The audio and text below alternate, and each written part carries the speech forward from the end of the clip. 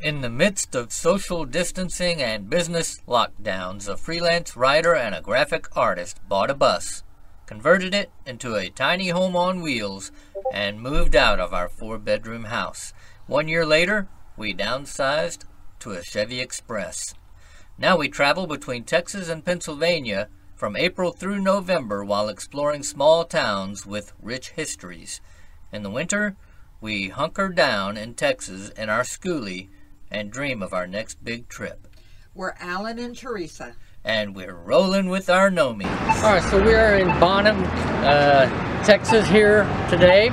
And behind me you can see the Fannin County Courthouse built in 1888. It's very similar to the Hood County Courthouse because it was built by the same architect. So the view of the courthouse coming into town is absolutely stunning. You round this corner of this curve in the highway and there it is off in the distance. All you see is the courthouse and it's absolutely gorgeous. And then you come into town and see everything else. So I'm happy to be here. This is a beautiful town. They're very proud of their town here and they should be. Uh, right here, uh, they just found out this past year that uh, Bonham is on the Jefferson Historical Trail. And they're all excited about that because they've mapped it out and everything and uh, they didn't know that uh, the Jefferson Historical Trail Commission people uh, contacted them and said hey did you know your town's on the trail? And so they're really excited about it. And they're celebrating their 175th anniversary of the founding of the town. Now you can find out more information about that by clicking on the link in in the description. We're yeah, linking so, to them Today we're just going to go around the square, look at some of the historical buildings, catch up on some of the history of the town. It's a really neat little town. A lot of things have gone on here, so uh, let's check it out. Famous outlaw John Wesley Hardin was born just southwest of Bonham at Blair Springs. He was the son of a reverend uh, and that makes his life very interesting because we wonder, well, just how did this uh, preacher's boy end up being a gunfighter? Anyway, he killed his first man at the age of 15, and they say that he killed a total of 41 by the end of his life. A Texas Ranger described him by saying, he kills men just to see them kick. okay then. Evidently, he could take two six shooters, turn them like wheels in his hands, and fire a shot at each revolution from both guns. Quite the, the gunsman. Anyways, he was arrested, spent some time in Huntsville. Uh, he escaped uh, prison and took up cattle raising, which he didn't do too well at. He ended up back uh, in a life of crime. Uh, he also uh, while in jail, studied religion and law and started a law practice of all things. He was admitted to the Texas bar, but he wasn't very good at it yeah, at his, that either. His uh, law practice didn't do so well, so he ended up uh, going back to uh, crime and, and shooting people. And uh, interesting story, anyways. Yeah, and and he actually ended up back in prison, eh? Yeah, yeah. Unfortunately, he was pardoned in 1894, uh, and that's when he uh, he got out uh, of jail and uh, went to uh, you know because he had studied law in prison, started his law practice. okay then, and I thought they said uh, he was shot yeah. In the Acme Saloon. In yeah. 1895, it was shot in Acme Saloon by Deputy Sheriff John Selman. Yeah. And then buried the next day. okay then. You're good. So 20 years after the uh, end of the Civil War and Bonham, Texas was well known for its lawlessness. In autumn of 1884, a popular Fannin County Constable was uh, elected to sheriff. Tom Ragsdale won the office in the general election on the first Tuesday in November and on the 14th was officially sworn in. Six months later, he received wait he received communications concerning a shootout in Indian Territory north of Gainesville, Texas. The notorious Lee gang had ambushed, ambushed a posse headed by Deputy U.S. Marshal Jim Guy. Guy and two others were killed and members of the gang fled the scene. Ragsdale was told that two suspected members of the gang, brothers Sam and Eli Dyer, were headed to their home south of Bonham. Hold on. Okay. So 11 days later, he was told they were seen there at the home. So Sheriff Ragsdale set about raising a posse of about 30 men, and with that large group, he was on acting orders from the U.S. government to apprehend the Dyers. When they arrived in the vicinity of the Dyer farm, Ragsdale had the largest portion of the party remain out of sight some distance from the farmhouse. Deputy Joe Buchanan was also near the neighbor to the Dyering farm, and the sheriff cautiously approached the house. They were met at the door by several women who deemed, who denied having Sam and Eli. Without the cooperation of the family, the two men were forced into the dangerous situation of searching several buildings which surrounded the farmhouse.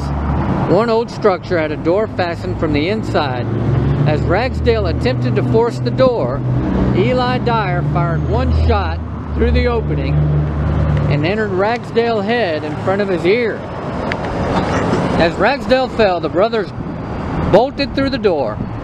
Ragsdale was able to get off one shot, which hit Eli, who turned and fired again at the hapless man laying on the ground. By this time, Buchanan had come around one of the other buildings and was shot dead by Eli. so the posse captured Eli, but oh poor old uh, Sam Ragsdale, taken to the Fan Fannin County Jail and placed in the, well, Sam, Sam. Sam managed to escape. Sam Dyer managed to escape. But then he was rounded up and placed in jail. The same cell where his brother was recovering from his wounds. At a preliminary hearing, the case was continued continued because of Eli's wounds. So anyways, old Sheriff Ragsdale didn't make it. Right, right. Poor old guy. I still don't know what that had to do with that uh, with that building, I don't either. except that that's where they posted it. Right.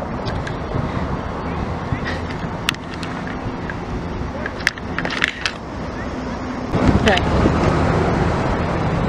Alright, so the Civil War was waging in 1863, and the citizens of Bonham were quite aware of the blood being shed by their young men. One of the most compelling events concerned Captain William Quantrill, notorious leader of the feared band of renegades who operated outside of control of the Confederate Army. Quantrill was known to have wintered in the area of Bonham on at least two separate occasions. In late November, weeks after the bloody massacre of Lawrence, Kansas, perpetrated by Quantrill and his band, the group showed up in Sherman after crossing Red River at Colbert's Ferry. They spent a few days in town before setting up camp. And they set up camp near Big Mineral, northwest of town. In the meantime, General Henry McCulloch, commander of the northern sub-district of the Confederate Army, had his headquarters here in Bonham and began to receive dispatches from various levels of command of the Army. He was ordered to keep a he was ordered to keep a check on Quantrill and his movements. Soon after, violent incidents, including murder and robbery, began to occur in the area. Quantrill's men, with good reason, were suspected. So they, anyways, they went through this whole deal, They, ordeal, they arrested him. searching for him and everything, and eventually got him. But uh, there was a big deal. He was a Quantrill. He was a he was a real troublemaker. Just my kind of guy. Didn't he escape? He may have. I believe he over he got Yeah. his guns back. Yeah, They put him in the same room with his guns. yeah. He re then he returned to the area after he left. Yeah. A shady character. But he locked up the the the headquarters guys and and his soldiers told them they were all prisoners. So a lot of good things happen here in Bonham. A lot of bad things too, evidently. Well, look here. I'm looking at the Opera House. What you know about it? So this is uh, the Russell's Opera House. The oldest of Bonham's two premier opera houses. Uh, Constructed hold on, on. Wasn't this guy just right there? He went around the block. He did. He went around the block to make noise in my video. Man, these people in Bonham, I'm telling you, the drivers here, they are not friendly drivers. Now they are. As soon as you walk across the street, they try to run you over. They they do have a tendency to not not think about that crosswalk. Yeah, the crosswalk says walk, and it's loud too. It says walk. Oh, my hat.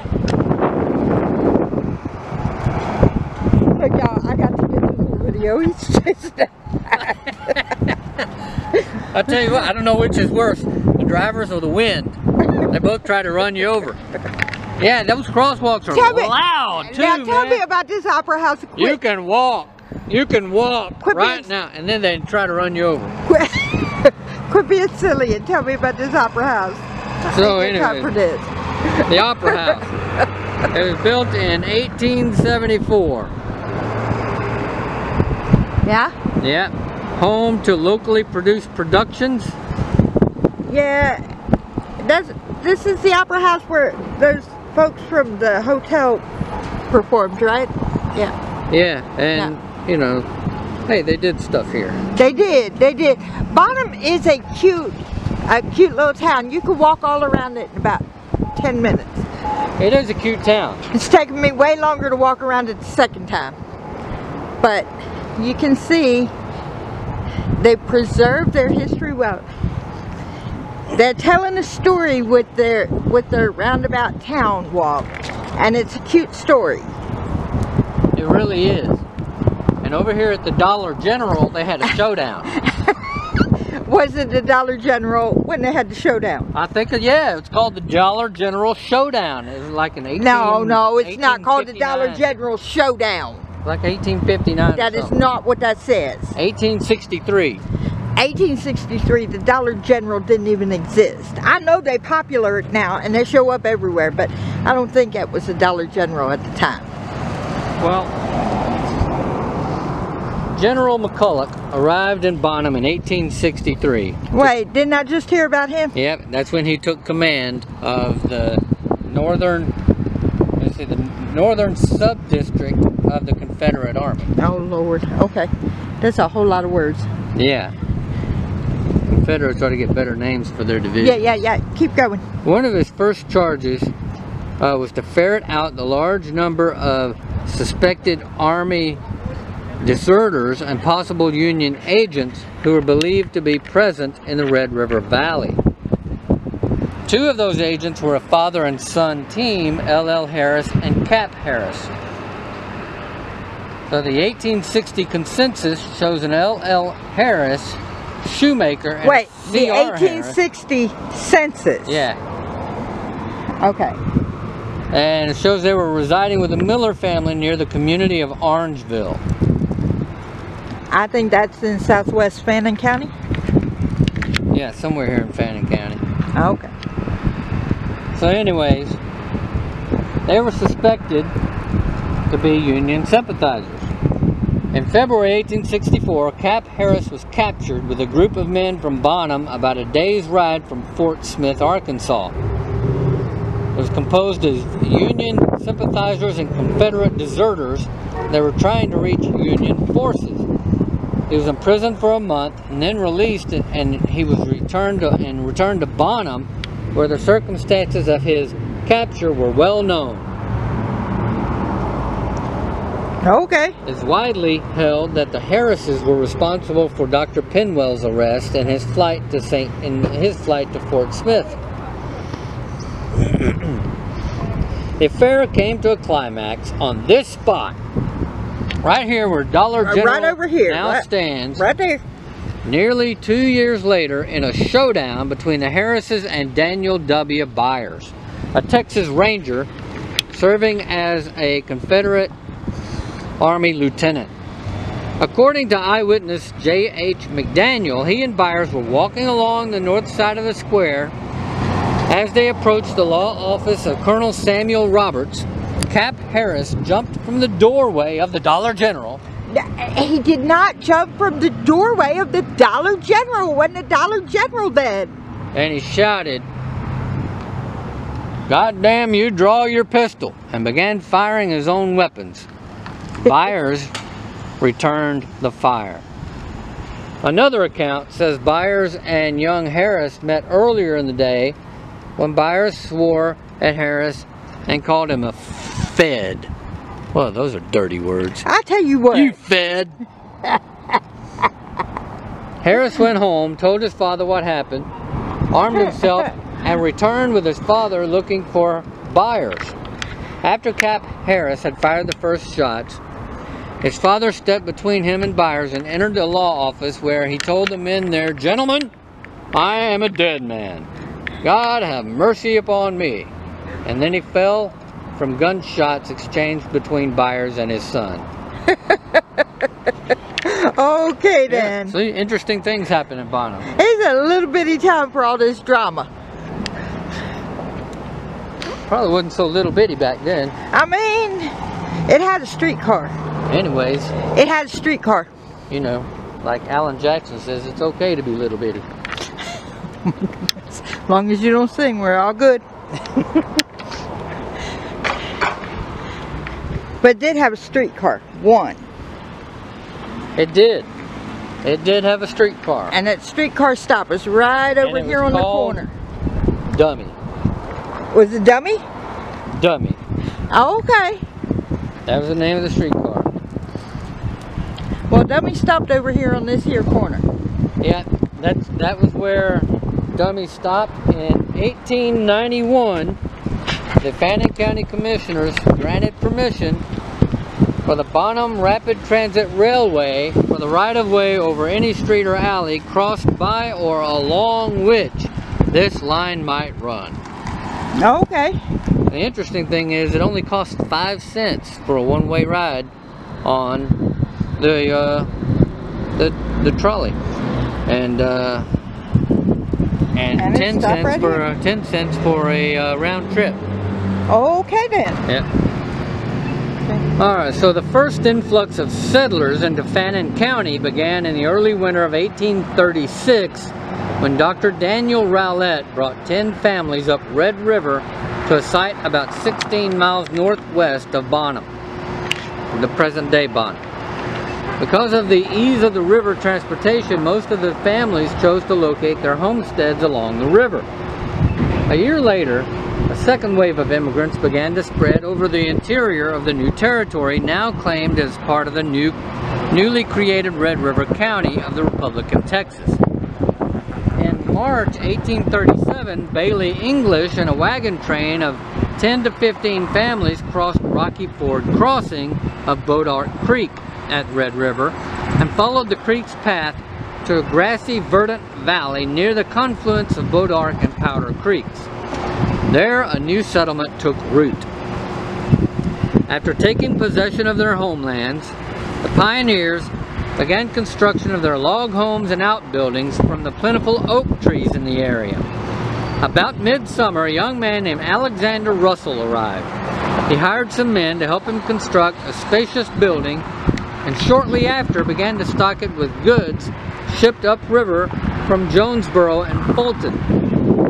In response to the perceived threat of attacks by bands of renegade Indians, Inglish and some of his neighbors began construction on a two-story log blockhouse and surrounding stockade. Comprised of 10 or more residential cabins, a general store, and the fort, the settlement became a viable village. In the early days, the village was called both Fort Inglish and Inglish's Station. By 1839, it came to be called Bois D'Arc, after the watercourse just on the eastern limits of the settlement. In 1843, Texas Congress decided to move the county seat of Fannin County, which had been created from Red River, Red River County in 1837, from its location at Fort Warren on Red River to the village of Bois D'Arc.